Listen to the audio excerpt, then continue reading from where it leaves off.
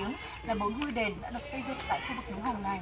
À, ngoài ra thì còn có ngôi chùa Thiên Quang ở ngay phía sau của đền Hạ và phía đông nam của đền Thượng thì có lăng mộ Hùng Vương.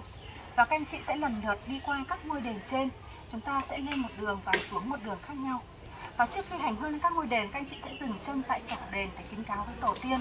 Và cổng đền thì được xây dựng vào năm 1917, năm Khải Định thứ hai do bà Phạm Thị Thịnh, hiệu là Hiền Tiên, chủ cửa hàng Đồng Thuận ở Hà Nội đã cung đức 200 đồng Đông Dương để xây dựng.